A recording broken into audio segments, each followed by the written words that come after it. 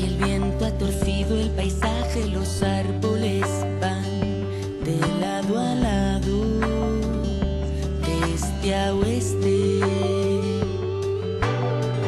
Hoy el viento se lleva los males, los dejará arriba ya